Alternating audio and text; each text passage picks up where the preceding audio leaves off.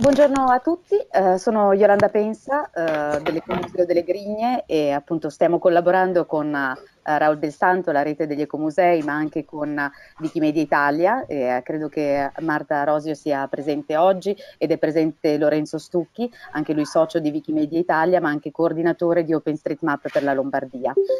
Um, L'obiettivo di questa iniziativa è, è quella di fornire degli strumenti pratici eh, collegati alla, al sapere libero, alla, alle licenze libere e a degli strumenti che possono essere utili per gli ecomusei. Il, um, abbiamo programmato una serie di incontri, questo è il primo, e durante il, il mese di giugno, eh, tutti i giovedì dalle 2 alle 3, ci saranno appunto degli altri incontri tenuti da Lorenzo Stucchi e da Marta Rosio. Um, L'obiettivo di oggi è quello di um, spiegarvi, di darvi delle informazioni più precise sulle licenze libere e i progetti collaborativi online.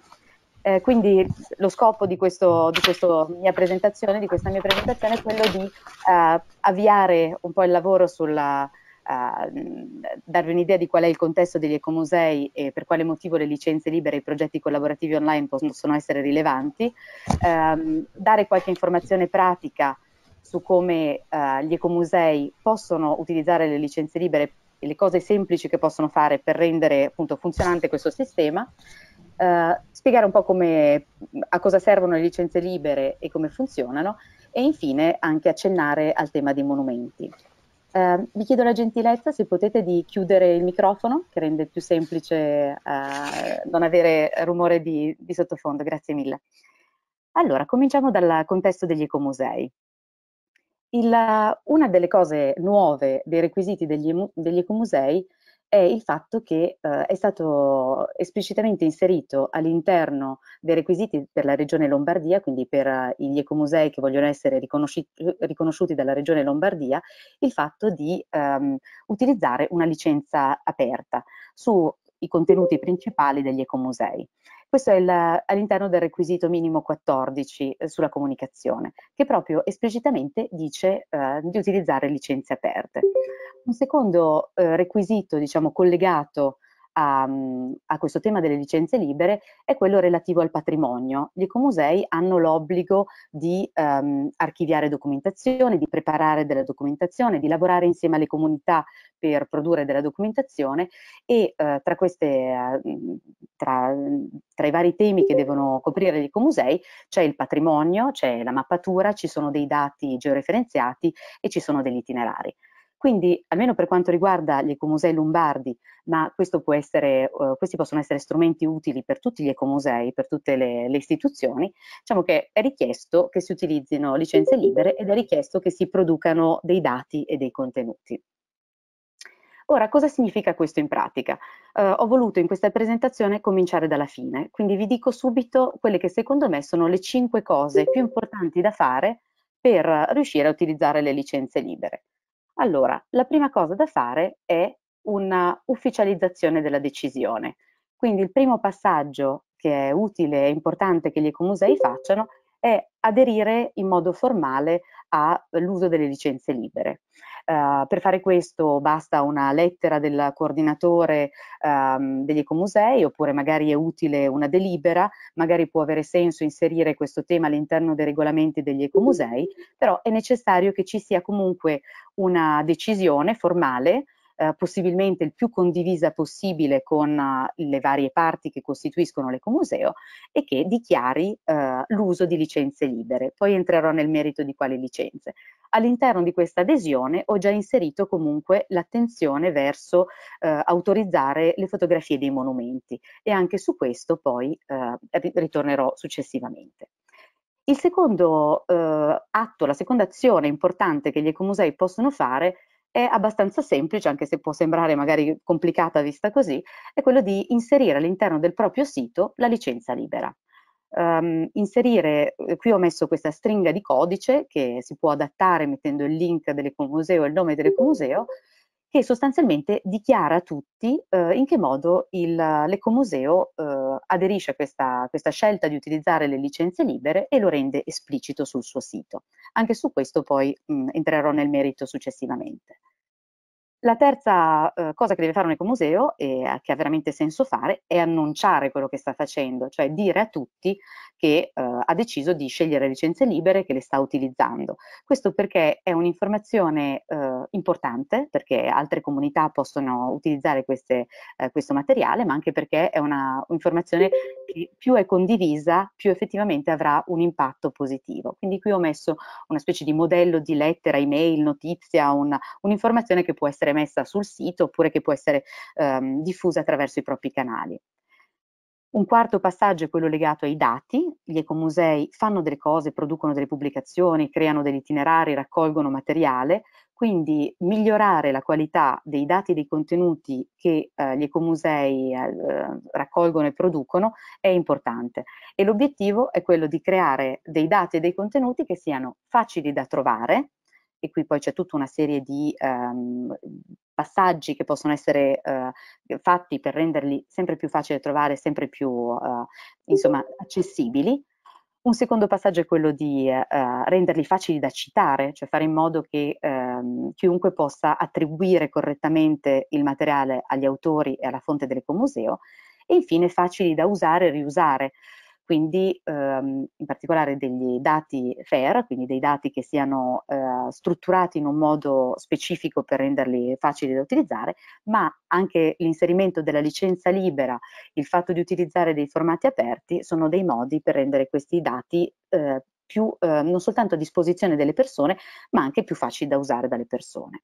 L'ultimo passaggio che ho inserito in questo elenco di cose da fare è la collaborazione con OpenStreetMap. Siccome gli ecomusei eh, lavorano su dei dati eh, geografici, dei dati georeferenziati per il patrimonio eh, che, eh, che, devono valorizzare, quindi identificando il patrimonio, ma anche ehm, ehm, per la creazione di itinerari o comunque per la creazione di contenuti che hanno un collegamento profondo e forte con il territorio, OpenStreetMap è un posto ideale dove inserire i dati ma ancora di più è un posto ideale perché eh, proprio come eh, l'approccio degli ecomusei è quello di lavorare con la comunità, è quello di essere delle istituzioni collaborative, OpenStreetMap è un progetto collaborativo e quindi permette veramente eh, di lavorare con le comunità e di eh, utilizzare al meglio questa procedura di eh, coprogettazione, di co-creazione della, del, della mappatura del territorio che può essere proprio fatta con uno strumento già esistente.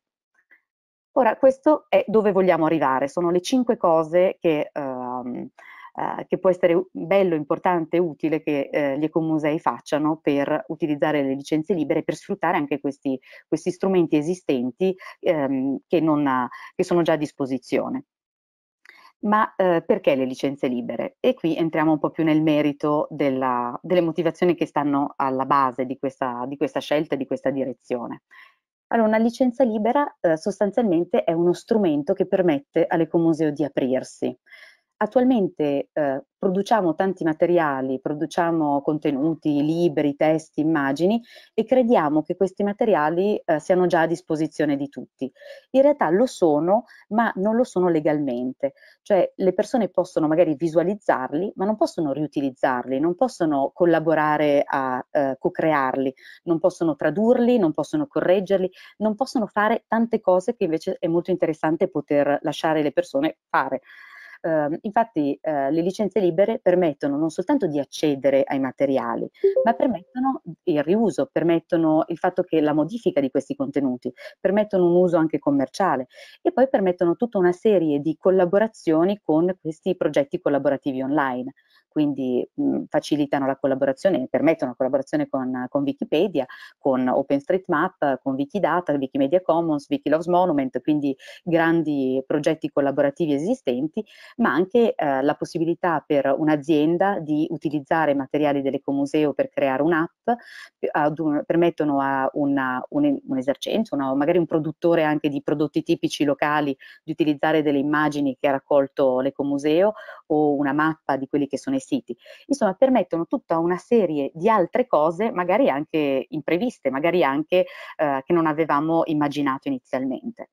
Inoltre le licenze libere hanno anche il vantaggio di collegare gli ecomusei a tutto un grande movimento contemporaneo. Eh, si parla spesso di open government, cioè l'apertura dei dati pubblici, ehm, quindi open data, open access, open science per quanto riguarda i contenuti delle università, open knowledge, open content, sono tutte delle direzioni in cui il mondo sta sempre più andando. E quindi eh, l'adesione degli ecomusei all'uso delle licenze libere, quindi la partecipazione attraverso l'uso delle licenze libere, permette a tutti gli ecomusei di far parte di questo movimento che sta proprio ehm,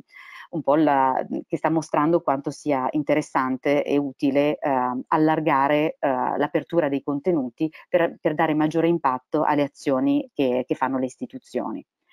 Uno dei vantaggi, diciamo, più visibili è la possibilità di mettere insieme contenuti diversi ehm, quindi la possibilità di eh, co-creare, collaborare e creare delle cose nuove a partire del materiale di tante persone diverse. Può essere basato sulle immagini, può essere l'editing di video, può essere audio, può essere dei dati strutturati ehm, su dei singoli siti del nostro patrimonio, cioè ci sono tanti materiali che possono essere usati per, per creare delle cose eh, condivise e nuove.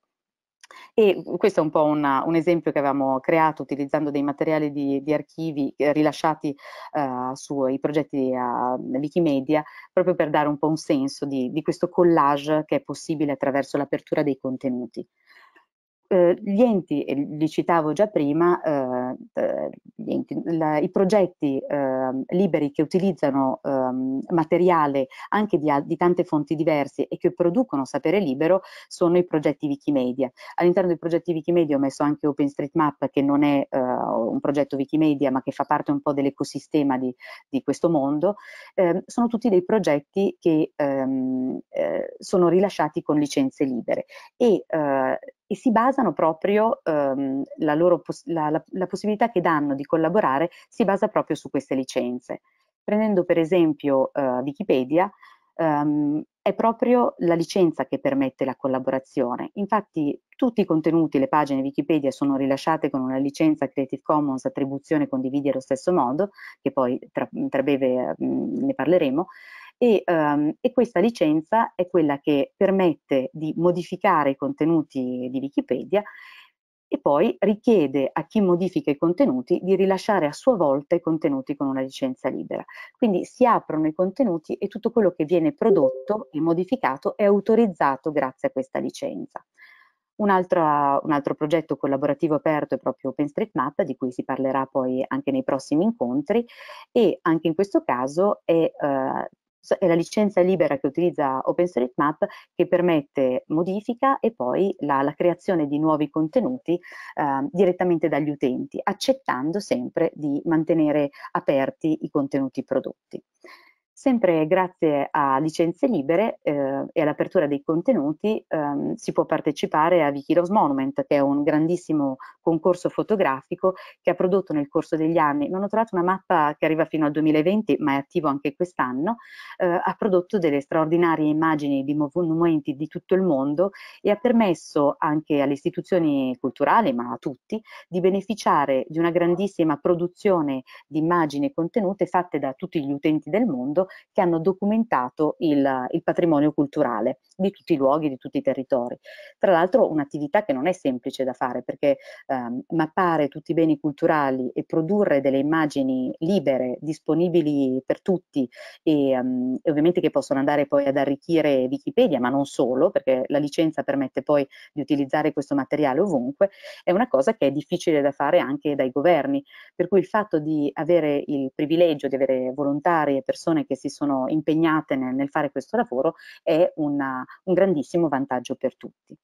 Altri progetti che usano eh, licenze libere, che hanno utilizzato contenuti aperti, sono un'iniziativa, eh, quella di mm, paesaggi sostenibili del cibo, che cito in, questo, eh, in questa presentazione e che anche lì è interessante ehm, collegare a questo sforzo di apertura dei contenuti. Ma come funzionano le licenze? Allora, ho iniziato appunto dicendo che vanno utilizzate, ma che cosa sono? Sostanzialmente le licenze sono lo strumento che ci permette di aprire i contenuti.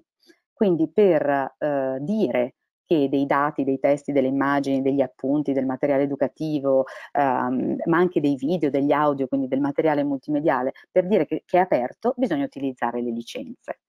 Di solito appaiono in modo abbastanza semplice, questo è un esempio di una licenza, eh, c'è un logo, c'è un'attribuzione, quindi c'è scritto come si vuole che quel materiale sia citato e poi c'è un link alla licenza. In realtà poi a guardare meglio questa licenza si tratta in realtà di tre cose che fa questa licenza, cioè è un'autorizzazione una, un che eh, è leggibile da, dalle persone, cioè attraverso il link alla licenza chiunque può vedere che cosa è autorizzato a fare con quella licenza e in questo caso specifico è una licenza Creative Commons che autorizza tutti gli usi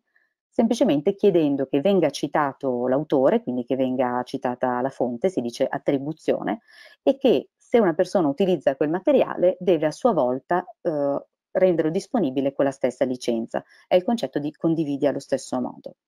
Quindi chiunque può sapere che può utilizzarlo in tutti i modi, commerciale e non commerciale, ma con queste due eh, clausole, quindi ricordarsi di citare l'autore e condividere allo stesso modo. Un'altra cosa che fa questa licenza è essere leggibile e comprensibile dai computer e delle macchine per cui eh, in realtà non si inserisce così la licenza, ma si inserisce, se si tratta di un, di un sito, si inserisce una stringa di codice come quella che vi ho mostrato all'inizio e eh, se è una pubblicazione eh, possibilmente si inserisce la licenza anche nei metadati. Infine, l'ultima cosa che fa questa licenza è avere un valore legale. Vuol dire che quando io metto questa licenza ehm, non faccio un accordo eh, con una singola persona, non sto dicendo come si fa normalmente nei contratti, tu hai il permesso di fare questa cosa. Io lo sto dicendo a tutto il mondo, cioè sto facendo un accordo tra me e il resto del mondo dicendo chiunque, qualsiasi persona istituzione può utilizzare il mio materiale semplicemente con queste due condizioni. Per cui è molto più semplice utilizzare il materiale di altri. Inoltre il fatto che eh, questa licenza sia comprensibile dalle macchine e dai computer fa sì che rientra poi nei motori di ricerca, cioè è possibile fare una ricerca per contenuti, trovare delle immagini che sono disponibili, che sono libere e che hanno una determinata licenza, per cui è molto più facile ehm, rendere disponibile questo materiale veramente al mondo. Questa, mhmm, questa, struttura della licenza si chiama una struttura a tre livelli. In pratica è molto importante eh, ricordarsi che la validità della licenza è proprio basata sul fatto che eh, deve essere comprensibile alle persone, alle macchine e deve avere la, il valore legale, quindi principalmente deve essere collegata a uh, un link alla licenza. Ora, non tutte le licenze sono delle licenze libere e aperte nel senso uh, più pieno del termine.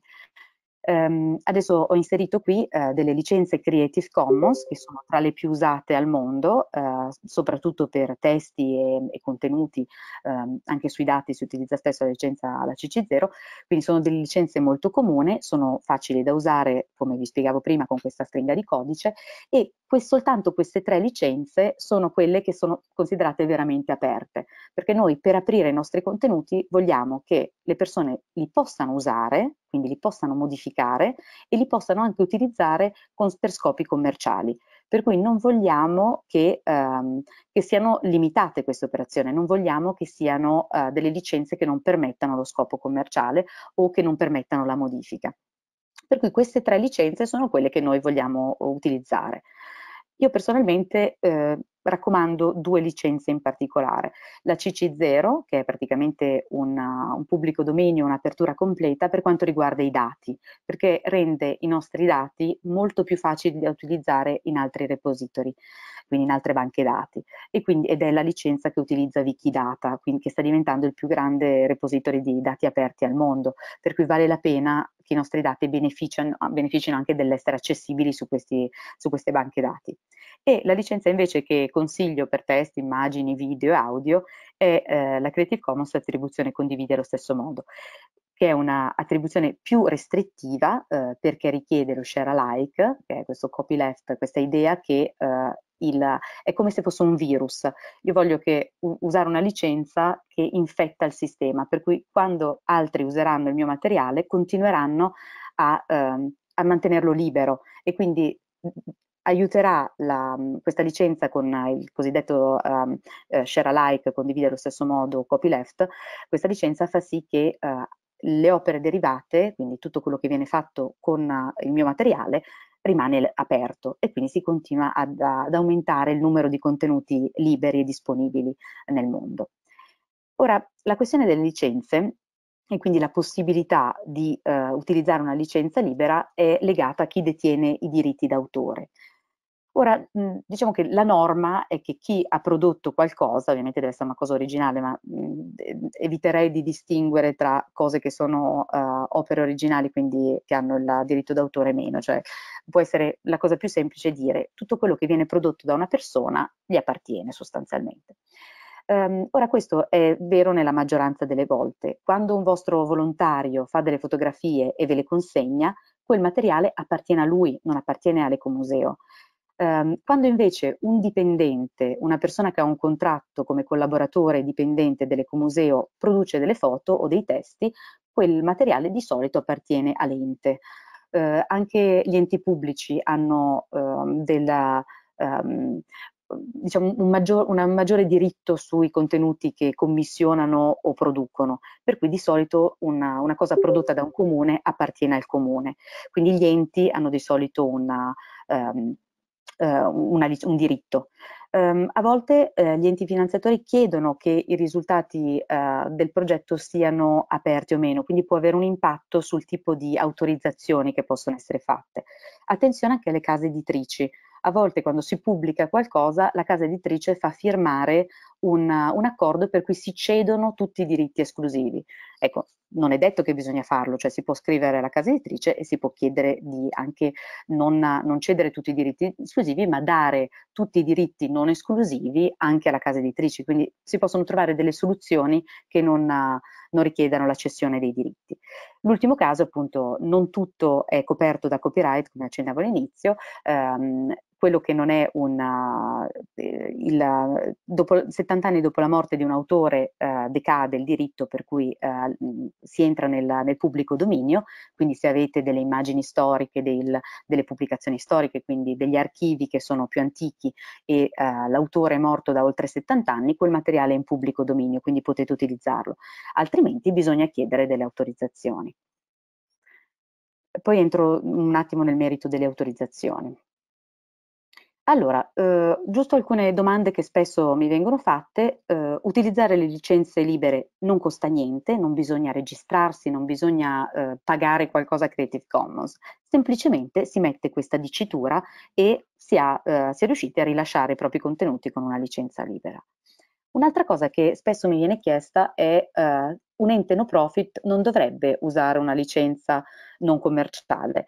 Ecco, bisogna fare attenzione a questa cosa. Eh, no, il, le attività commerciali in realtà non c'entrano con lo scopo di lucro eh, di un ente. Eh, essere, uno scopo, un, eh, essere, un ente senza scopo di lucro vuol, non vuol dire che non si possano fare delle attività commerciali. Considerate che una, un uso commerciale, uno scopo commerciale può essere anche quello di utilizzare dei materiali per una, una app a pagamento oppure per un sito internet che ha della pubblicità, oppure anche un libro, avendo un prezzo, o una rivista che hanno un prezzo, sono un uso uso commerciale di materiali. E ehm, anche un'azienda che vuole utilizzare appunto il vostro materiale per un volantino pubblicitario è una, un uso commerciale. Per cui il fatto di permettere l'uso commerciale è in realtà tra l'altro un tipo di uh, attenzione che gli ecomusei dovrebbero avere, proprio perché eh, noi come ecomusei abbiamo anche ehm, eh, voglia che il, il nostro territorio benefici delle nostre attività anche per attività commerciali e anche per uno sviluppo eh, di business, di, uh, um, di, attività che possono essere a beneficio di tutto il,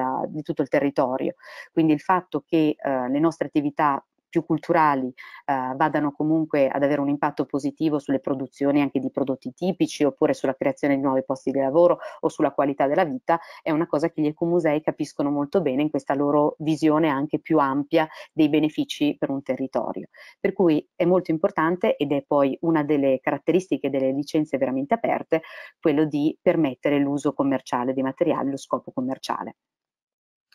Un altro mhmm, consiglio uh, fondamentale è quello di uh, cominciate dalle situazioni facili. Qualsiasi ecomuseo ha materiale che non si sa da dove arriva, è complicato definire. Non partite da quello, cominciate rendendo disponibile il vostro sito internet, eh, cominciate dal materiale che sapete aver prodotto voi, cominciate anche da magari eh, della, delle immagini, del, eh, dei contenuti che vi sono stati dati da, da volontari eh, che potete contattare, a cui potete chiedere l'autorizzazione, meglio un'autorizzazione scritta, meglio un'email, eh, per, uh, perché questo materiale sia rilasciato con licenza libero. Quindi cominciate dalle cose semplici, che è il modo migliore poi per, per iniziare poi anche successivamente anche le procedure eh, diventeranno più, eh, più, attente magari anche quando raccoglierete il materiale da, da volontari o durante un evento. Ehm, eh, sarà più facile che vi venga in mente appunto di chiedere l'autorizzazione, di specificare come vengono eh, inseriti poi i materiali resi disponibili.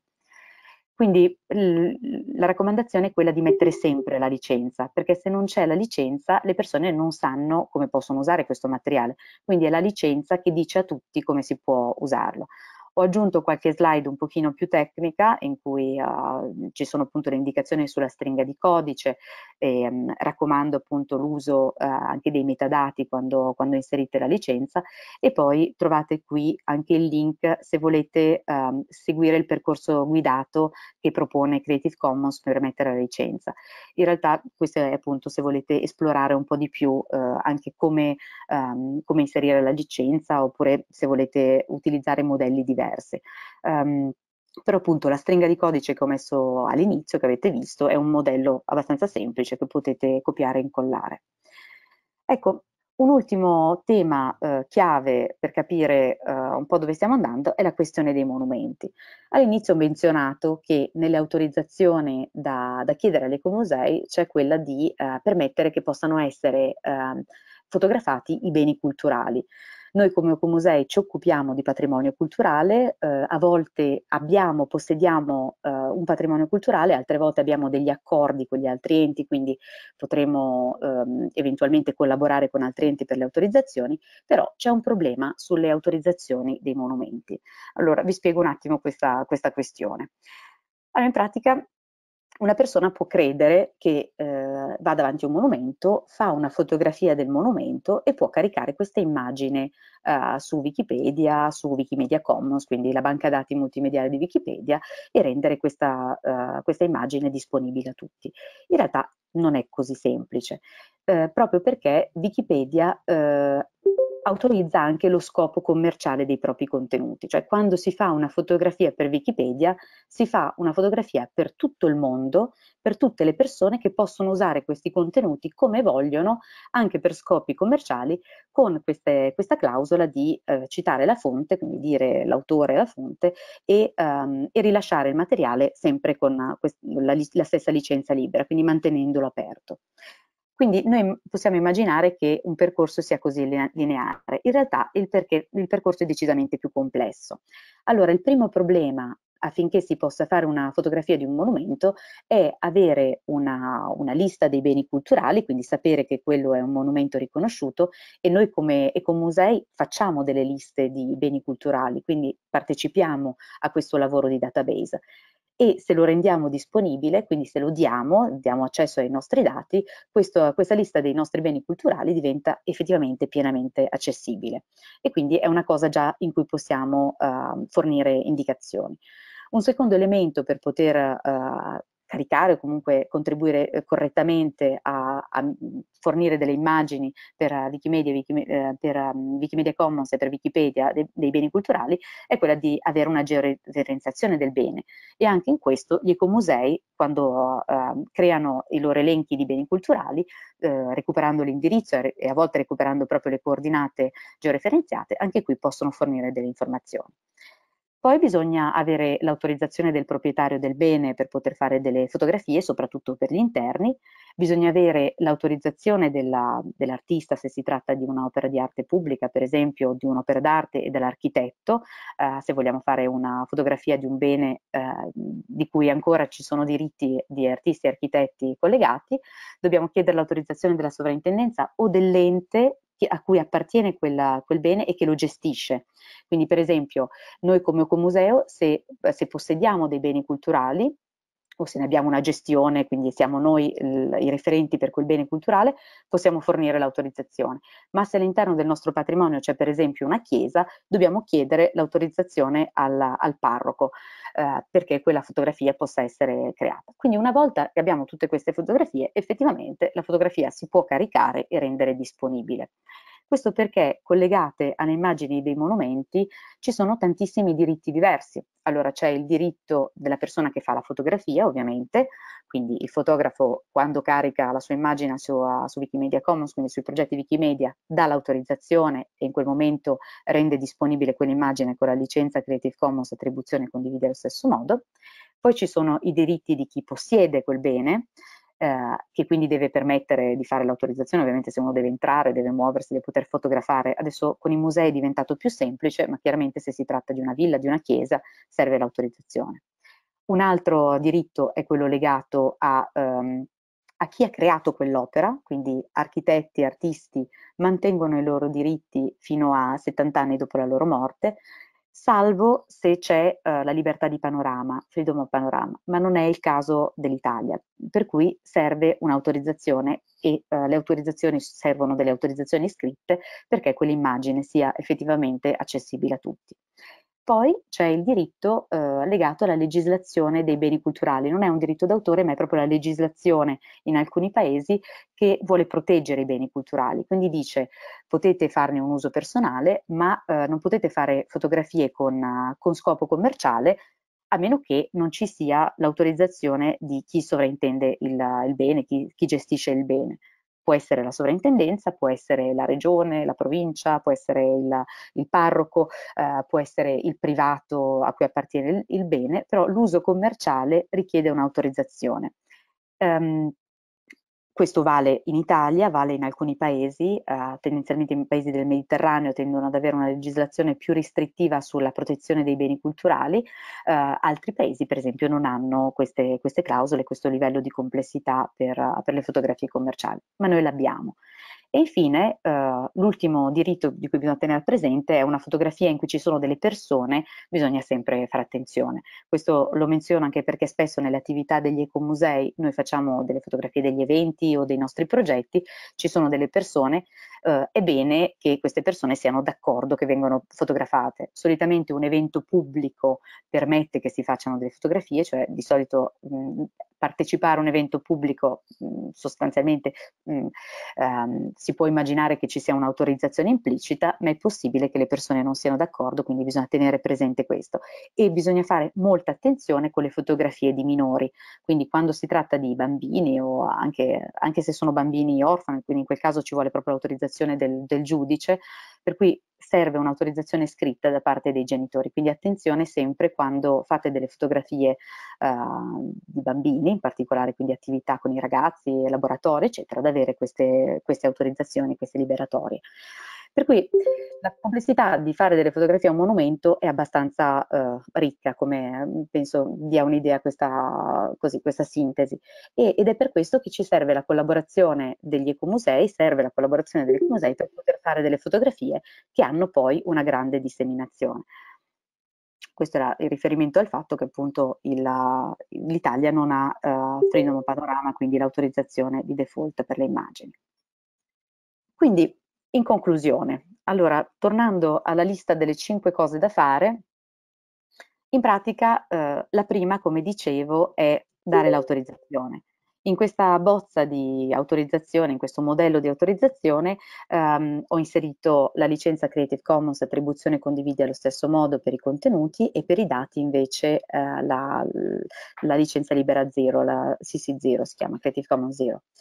E, ehm, inoltre ho inserito anche qua un'autorizzazione a fare le fotografie del patrimonio. In realtà poi per la partecipazione di, di Wikilo, Wikiloves Monument, e questo eh, Marta Rosio ne parlerà più diffusamente, ehm, è bene fornire un elenco dei beni culturali e probabilmente se gli ecomusei hanno voglia di partecipare a questo evento strabiliante e permettere alle persone di fare fotografie del loro patrimonio, che credo che sia profondamente iscritto comunque alla nostra missione, al nostro modo di operare, eh, serve probabilmente necessariamente anche raccogliere delle autorizzazioni da altri enti, quindi in particolare la parrocchia, il comune, magari la provincia o dei privati che hanno dei, uh, dei luoghi di particolare interesse, di particolare valore. La seconda attività, come dicevo all'inizio, è quella di inserire la licenza sul vostro sito internet. Il vantaggio di mettere la licenza sul vostro sito internet è che sicuramente i contenuti che avete messo sul sito sono dei contenuti che non hanno problemi di privacy, perché se sono già pubblici, se sono già online, vuol dire che sono comunque dei contenuti aperti o disponibili di cui non avete timore. Per cui mettere la licenza li rende realmente aperti e utilizzabili da altri. Um, una, un'accortezza potete specificare che eh, salvo diversamente indicato i contenuti sono, uh, sono, liberi, magari se si tratta di cose che non appartengono esattamente a voi, oppure uh, cose in cui sarebbe bene magari chiedere l'autorizzazione. Potete anche specificare per esempio che solo i testi sono aperti, potrebbe essere magari una prima fase se ancora non avete discusso, negoziato, non avete l'autorizzazione degli aventi diritto. Il, mm, la terza cosa da fare, come vi dicevo, è quella di ditelo tutti. Questa è una cosa comunque bellissima, cioè il fatto di uh, utilizzare licenze libere, il fatto di mostrare che si rende disponibile la propria documentazione a tutti, il fatto che anche le comunità online possano utilizzare questo materiale è una cosa senz'altro da, da far sapere. Per cui ehm, considerate questo un passaggio che, che, non vi costa niente diciamo, da un punto di vista monetario, non dovete pagare per fare questa operazione, salvo il tempo che ovviamente serve dedicare, però che rende comunque un, un effetto molto importante e che ha una grande utilità per tante persone. Il quarta azione è quella di fare attenzione poi ai vostri dati in futuro, ai vostri contenuti uno dei, um, il vostro sito internet comunque che è previsto uh, che un ecomuseo debba avere è un posto senz'altro utile dove, dove, archiviare, dove mettere la vostra documentazione, ma rendere disponibile questa documentazione in altri luoghi, su altri siti, su altri repository è sempre una buona idea. La ridondanza, cioè mettere i contenuti in tanti posti diversi, è sempre considerata una cosa buona con i contenuti digitali, per cui quello è sempre una, una cosa saggia. Um, anche fare in modo che questi contenuti siano appunto caricati su Wikimedia Commons, le fotografie, i dati su OpenStreetMap, rende semplicemente i vostri dati e le vostre, le vostre conoscenze e vostre, i vostri materiali più facili da trovare dove c'è già tanta gente, perché questi progetti sono già molto usati. Una, quindi tutto quello che aiuta uh, a rendere più facilmente trovabili questo, questo materiale è sempre una, una, caratteristica importante per aprire i dati. Una seconda caratteristica è quella di siate chiari su come volete che questi, questi dati, queste informazioni siano citate eh, solitamente si mette l'autore, magari la, il nome dell'ecomuseo come, come ente che eh, possiede questo materiale o che, o che l'ha prodotto, l'anno e la licenza, ehm, in modo tale che voi rendete eh, facile ehm, il riuso di quel materiale e facile anche eh, l'attribuzione di questo materiale e, ed è bene sempre ricordarsi che citare comunque eh, gli autori è una, è una, pratica importante, sia perché citare gli autori eh, evita di fare plagio, ma anche perché è un diritto morale quello di riconoscere il lavoro degli altri. Per cui eh, è bene anche considerarlo una pratica che noi stessi dobbiamo fare quando utilizziamo materiale di altri e, uh, ed è una pratica anche intelligente per valorizzare il, il lavoro dei volontari, per cui mh, citarli, avere il nome della persona che ha realizzato quella, um, uh, quel lavoro o i partecipanti che sono stati coinvolti è sempre una, una cosa bella e importante per dare valore alla partecipazione. Infine, Uh, tutto quello che rende più facile utilizzare quei materiali è uh, fondamentale per per renderli realmente aperti. Per cui ehm, utilizzare la, la, licenza che dice chiaramente a tutti che cosa si può fare con quel materiale, ehm, se si tratta di software o se si tratta di, uh, di progetti particolari, inserire anche delle istruzioni per l'uso. Ehm, privilegiare i formati aperti, quindi ehm, è meglio rendere disponibili uh, delle, um, uh, delle, strutture da dei dati strutturati piuttosto che un PDF con un elenco di dati. Quindi più ehm, i formati sono facilmente utilizzabili e sono aperti, ehm, più è facile per le persone riutilizzarli e scaricarli. Quindi fornire dei dati ehm, meglio una tabella Excel di un PDF, meglio un CSV, ma questo mh, appunto anche le presentazioni successive su OpenStreetMap che, che fa anche caricamenti di dati, eh, sicuramente possono darvi delle informazioni più pratiche su come preparare questi dati. Um, L'obiettivo è quello di permettere ad altri di modificarli e poi appunto renderli disponibili per, per scopi commerciali e non. Infine, l'ultima Uh, l'ultima cosa uh, importante è la partecipazione a OpenStreetMap, non ho messo qui la partecipazione a, a Wikipedia e a, ai progetti a Wikimedia, quindi Wikiloves Monument e a tutte le altre uh, banche dati e spazi con i quali si può collaborare con i progetti Wikimedia, um, giusto perché poi sarà presentato successivamente. Ma, um, la collaborazione con le comunità online e rendere disponibili i contenuti in uh, banche dati che li rendono poi a loro volta aperti ad altri è un sistema molto efficiente per potenziare proprio il collegamento tra quello che facciamo e il più vasto mondo, per cui un interesse che può essere degli ecomusei. Concludo eh, con l'Ecomuseo delle Grigne, che è l'ecomuseo di cui sono coordinatrice, eh, che da tanti anni che utilizza licenze libere. In realtà è l'Associazione Amici del Museo delle Grignolos che dal 2006, eh, l'associazione è l'ente gestore dell'ecomuseo, ha scelto di, di, usare licenze libere, è stato premiato per questo da Wikimedia Italia per il sapere libero, poi abbiamo organizzato il raduno mondiale di, uh, di Wikipedia, Wikimania nel 2016, quindi l'impegno dell'Ecomuseo delle Grigne è sempre stato su più fronti pronti nel rendere disponibile il materiale e l'esperienza che abbiamo fatto è, è stata molto positiva. Eh, anche il caricamento di,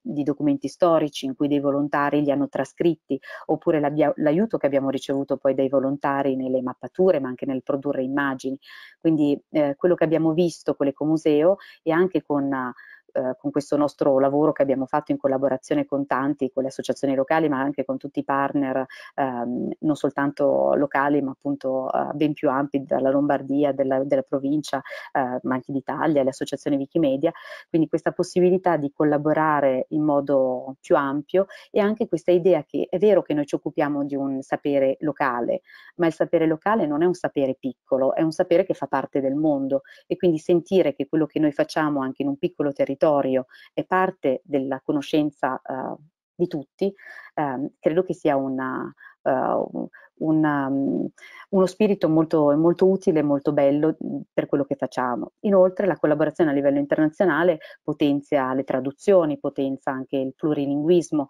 e la partecipazione poi di persone mm, che vengono da tutto il mondo e questo anche è un punto importante e utile per noi che ovviamente abbiamo magari delle risorse limitate ma che attraverso questi progetti aperti ehm, possiamo anche beneficiare di traduzioni e anche di collegamento con sapere in altre lingue.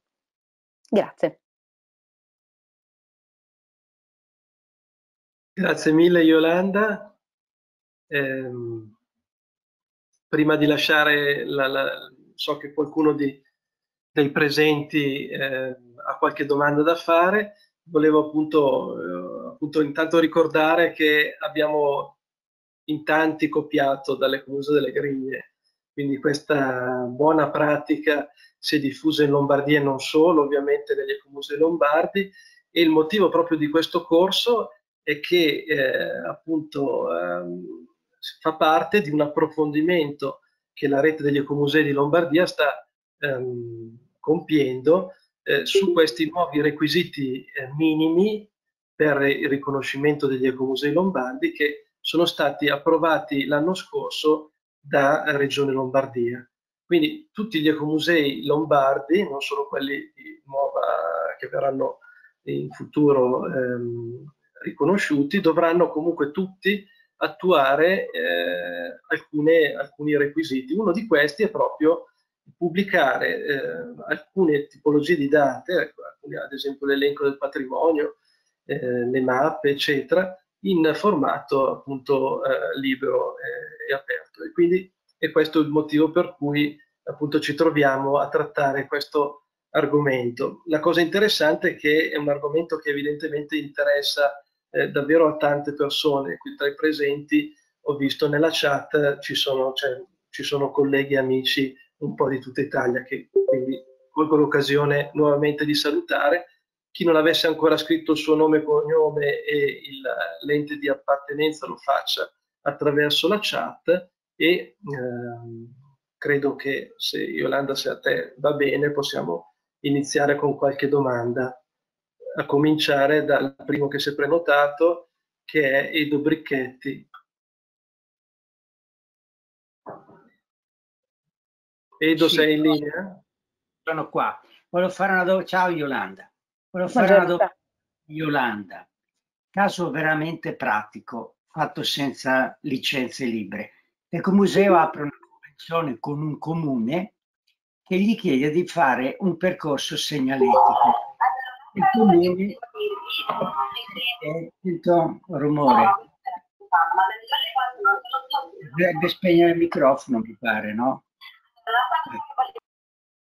Ecco, bravo. Ecco, il, um, il, comune realizza dei pannelli di metallo, no? dei totem,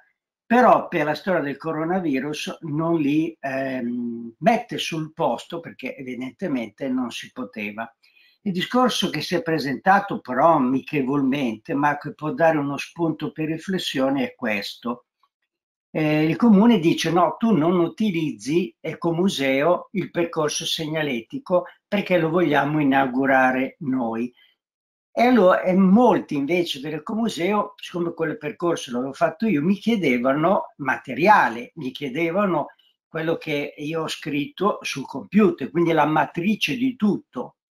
Io ho anche curato i cartelli, ma i cartelli hanno un'impostazione diversa e eh, vi sento dire che non posso. Allora io mi rivolgo a un avvocato,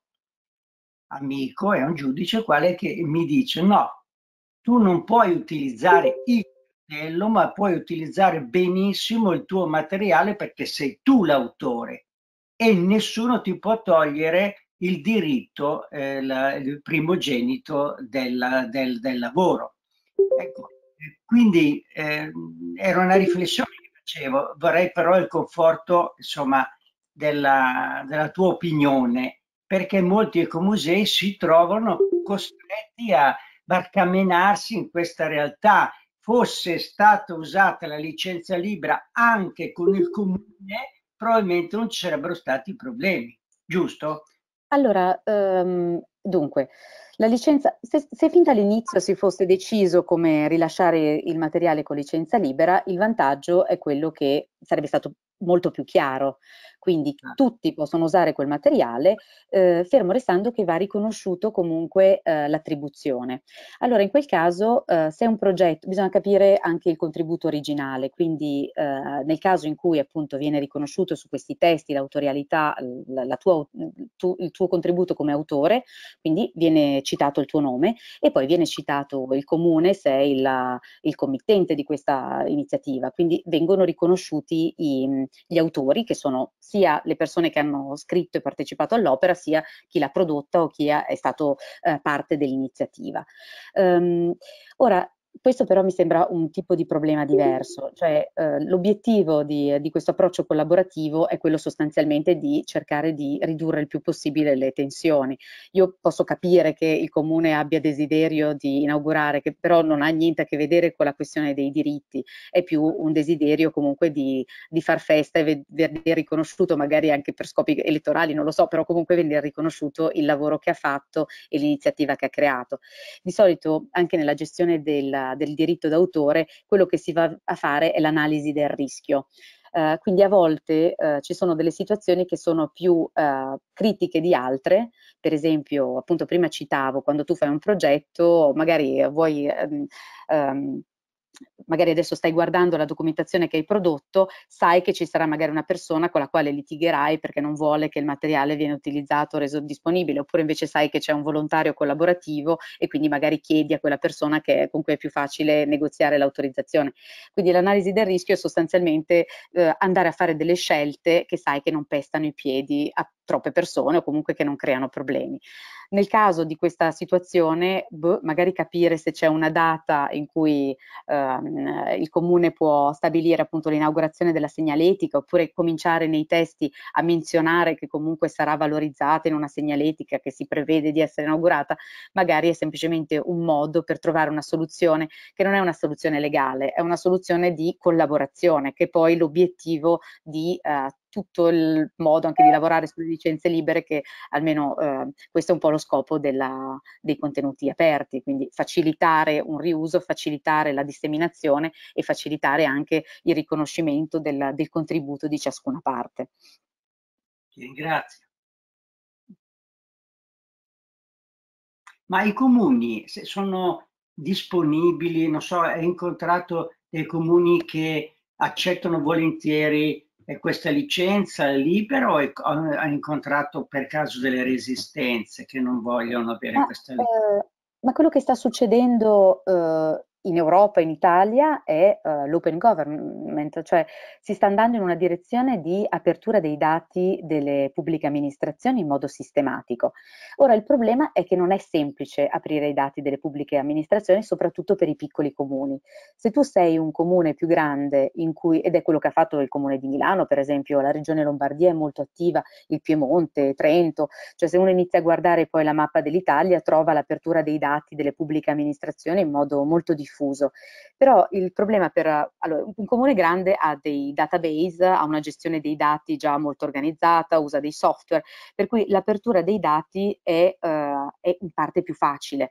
perché ha già tutto un sistema che poi può essere aperto. Per un comune più piccolo uh, a volte ha uh, so, l'orario di apertura dei negozi che in realtà un testo su un PDF o è messo sul sito oppure ha dei pezzi di materiale che sono in, in parte cartaceo, in parte parte digitale, cioè è magari più complicato. Per cui nella pratica eh, i comuni sono lenti nel rendere disponibile il materiale e adeguarsi all'open government proprio perché eh, è una pratica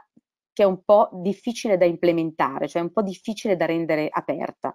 Quello che stiamo facendo, io mhmm, collaboro come universitaria perché poi io sono, uh, sono ricercatore all'Università Svizzera, alla SUPSI, e uh, dirigo un'area di ricerca che si chiama Cultura e Territorio, quindi stiamo lavorando molto con, uh, sul tema dei dati anche e abbiamo un progetto Interreg con la Regione Lombardia che si chiama Gioconda e in questo progetto Interreg si stanno facendo dei servizi proprio alle pubbliche amministrazioni. Sta cambiando la situazione perché chiaramente quando adesso le pubbliche amministrazioni hanno dovuto fare il loro consigli hanno dovuto fare un consiglio online registrato, quindi questo ha prodotto una registrazione, quindi dei dati che sono già digitali. Quindi stiamo andando in una direzione in cui tanti piccoli comuni stanno producendo contenuti digitali, stanno usando sempre di più degli strumenti nuovi e producono dei dati digitali. Quindi probabilmente anche sta cambiando, stanno cambiando le cose. Noi in questo progetto adesso stiamo pensando proprio di lavorare anche lì sui siti internet dei comuni, perché anche inserire la licenza sui siti potrebbe essere un passaggio molto semplice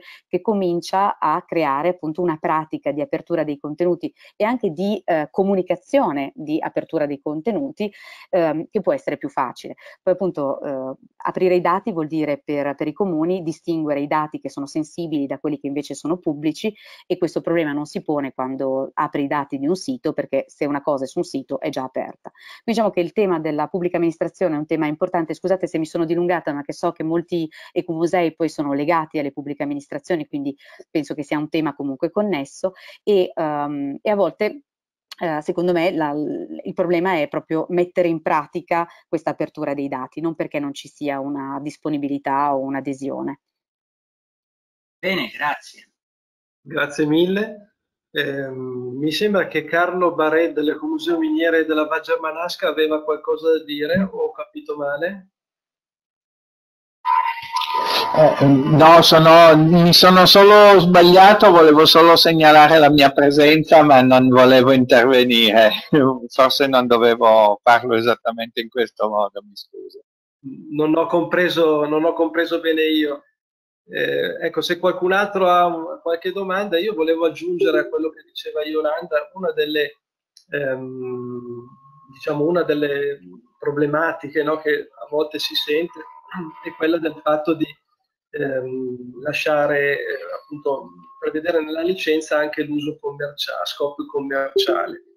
Questa cosa chiaramente per l'ente pubblico, eh, come dire, si, deve, deve far pensare, no? ma secondo me non è un problema, noi non abbiamo avuto problemi eh, nel momento in cui appunto c'è all'interno di questa operazione un interesse generale, no? quindi anche eh, per dire, oltre ad aver rilasciato dati anche, eh, con uso anche di tipo eh, per scopi commerciali, abbiamo anche eh, fatto pubblicità, tra virgolette, a imprese locali, no? A prodotti locali, per cui se all'interno di questa operazione eh, c'è un interesse generale, a mio parere eh, questa, questa difficoltà che potrebbe scaturire anche da questo tipo di licenza, a mio parere viene, viene meno. Non è ben chiaro per tutti, no? per cui anche quello di ehm, promuovere eh, aziende locali, no? dov'è l'interesse generale? Allora dove appunto l'azienda agricola locale ti fa anche, ti mantiene un paesaggio che fa parte del tuo patrimonio culturale, non so, pensate a, ai prati irrigui legati alla, all'allevamento della, appunto delle mucche da latte, no? una cosa del genere, che valore ha? No? Quindi se io faccio pubblicità a queste aziende che sono anche eh, purtroppo anche messe molto male, ecco, io sicuramente opero nell'interesse generale e non mi pongo assolutamente problemi di fare eh, pubblicità che magari va a beneficio di... di, di sì, attenzione anche Attenzione anche a questa, cioè lo scopo commerciale eh, deve esserci perché, un, perché, dei dati siano realmente aperti, cioè non si può eh, prescindere dallo scopo commerciale, quindi quando si parla di open data, quando si parla di open government deve essere permesso l'uso commerciale, ma anche perché una premessa di questo è se dei contenuti o del materiale è stato prodotto con del, del denaro pubblico, questo materiale deve essere pubblico. Questa è una delle diciamo, motivazioni alla base di, di diciamo, contestualizzazione del perché si ritiene che uh, i dati debbano essere aperti, i contenuti debbano essere aperti. Attenzione poi anche a una cosa paradossale in cui siamo, cioè a volte uh, parliamo di contenuti che sono già in pubblico dominio, ma che sono chiusi. Cioè molto spesso parliamo di dati storici, di biblioteche, archivi, centri di documentazione che in teoria eh, per la legge dovrebbero già essere pienamente accessibili, ma che per una pratica di ehm, conservazione e anche perché eh, uno voleva proteggerli o evitare che venissero distrutti eh, e quindi si è creata questa mentalità di protezione di, di cura che è anche una mentalità molto bella, ehm, si sono tenuti in qualche modo più chiusi possibili. Nel momento in cui questi contenuti sono digitali non si rovinano, cioè se li usano più persone, se questi contenuti vanno a creare nuove cose, se vengono eh, modificati, perché tanto io comunque mi tengo la mia versione eh, di base, quindi è, nessuno sciupa quello che io ho, uh, tra l'altro nessuno tocca gli oggetti, uh, quelli fisici, per cui anche si conservano meglio. Per cui il fatto poi di creare più scopi, più usi di questo materiale è una è una pratica nuova che un tempo non c'era, quindi la conservazione era prioritaria e che adesso poi eh, crea anche nuove potenzialità.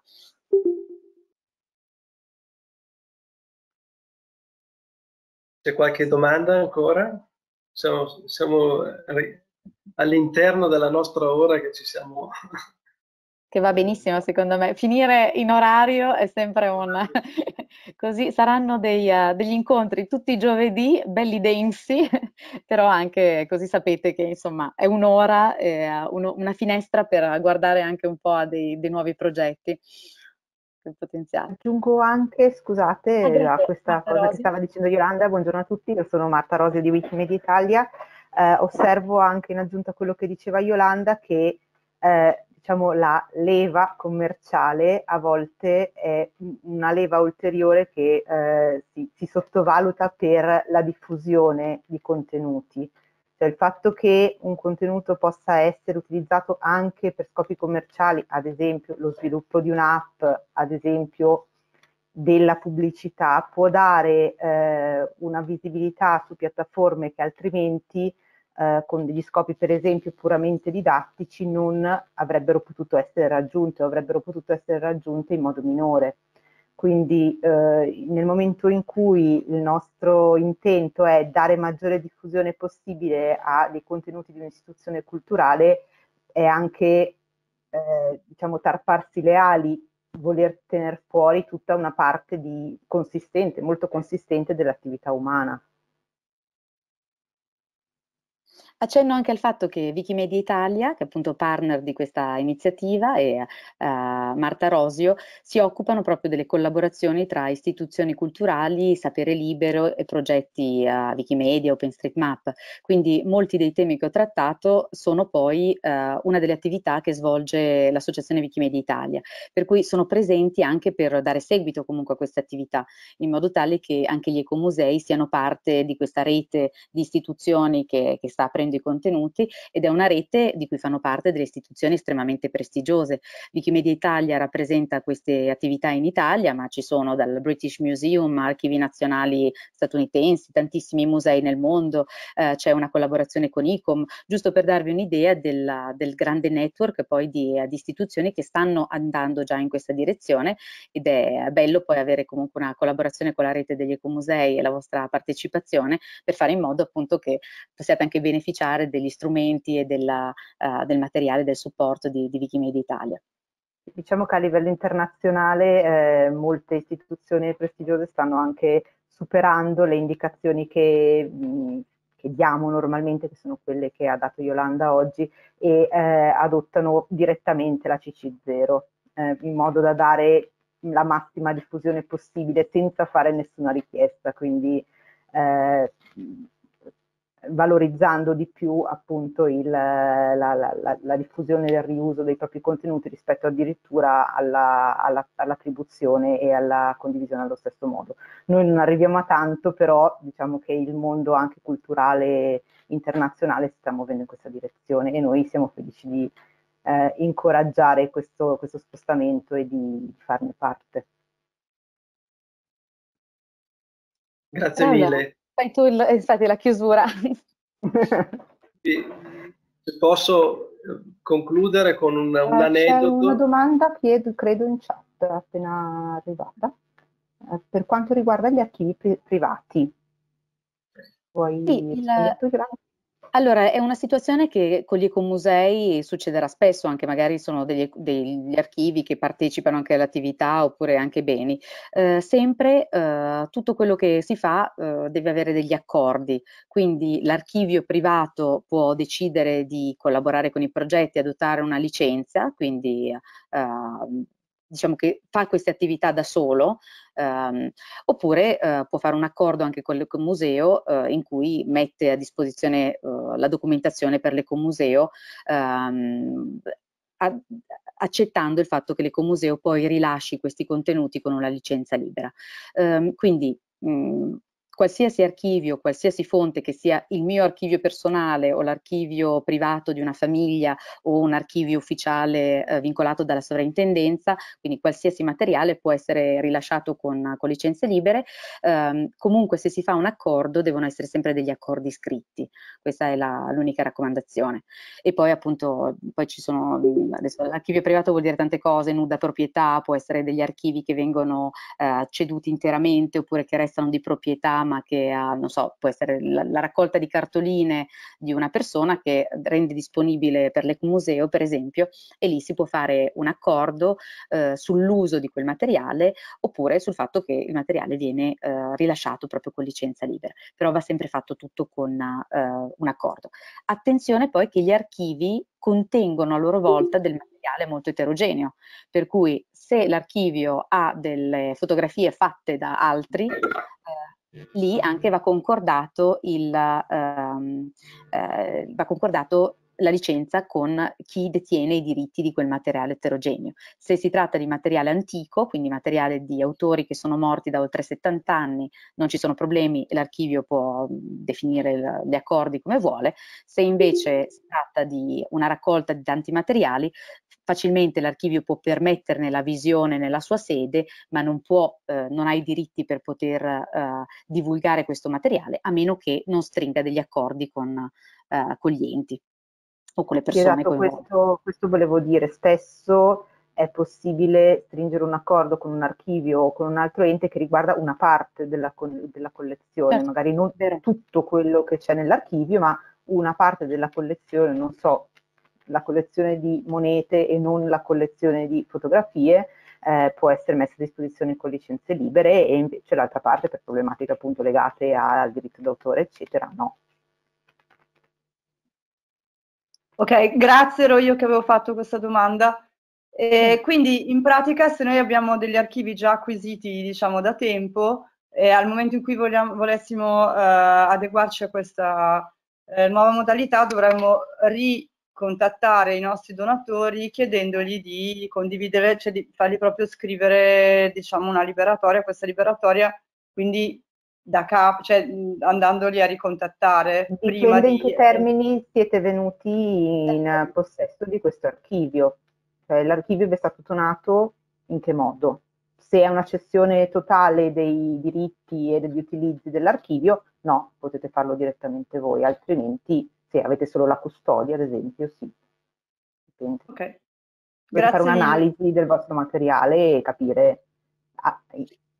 come Però appunto cominciate dalle cose più facili. Io ribadisco questa regola base, cioè cominciate sempre dalle cose facili, avrete sempre delle situazioni caotiche e poi non, non cominciate dalle persone che invece, cioè se sono mh, amici, persone con quali si lavora bene, lavorate con loro, chiedete l'autorizzazione. Se sapete che sarà un, un inferno, che ci saranno complicazioni, che sarà un rapporto molto difficile, scegliete qualcos'altro. Questo è importante perché cominciare con uh, tutti i problemi non è una scelta ragionevole. Si può sempre cominciare con delle sezioni anche, non è necessario che tutto l'ecomuseo su tutto il suo materiale metta questa licenza, ma può cominciare con le cose sulle quali può farlo e quindi cominciare anche lì dal semplice. Benissimo, grazie mille, credo che sia stato molto interessante, quindi rinnovo ancora il ringraziamento a Yolanda Pensa e alle altre collaboratori che eh, ci, ci, stanno accompagnando in questo, in questo argomento così interessante. Ripeto, provare per credere perché davvero è utile seguire questa strada, non è solo obblig- stato eh, una questione di obbligo, no? è proprio, quindi la Regione Lombardia ha sentito prima gli ecomusei, prima di inserire tra i requisiti questo tipo di, eh, di diciamo, di necessità, ma perché proprio è stata ritenuta dagli ecomusei lombardi stessi un'opportunità importante. Quindi eh,